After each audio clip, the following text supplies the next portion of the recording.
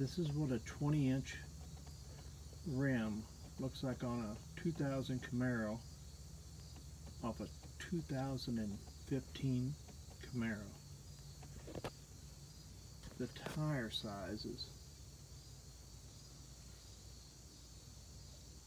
245 45 so we'd probably have to go with the 230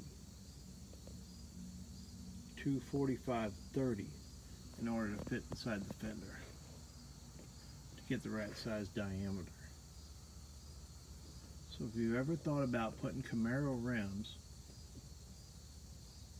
on a C5 Camaro they will fit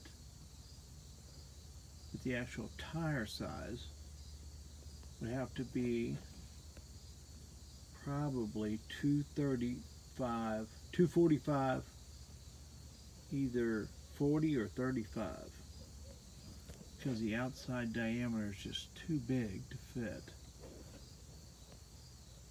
So with that being said for right now I will put the original tire back on. Put the put the wheel back on my Camaro and go from there.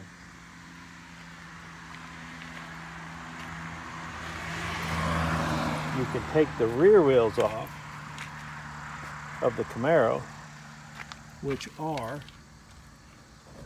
275 by 40, and they will bolt right on a C5 Camaro, Corvette, sorry a C5 Corvette. No problem. Plenty of clearance.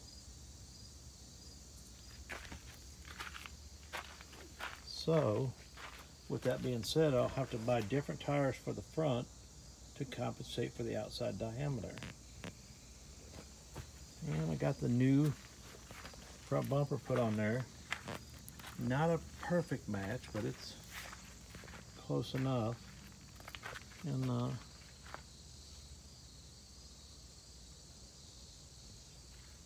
still still have to do the still have to do the uh, muffler delete which is coming soon from front from start to finish. The exhaust the stock exhaust is pretty good but just not good enough. I bought new tips. And I have the pipe, I have the welder. So maybe by next week, well, if them 20, them big old tires will fit, they'd look pretty good. But they're just way too big.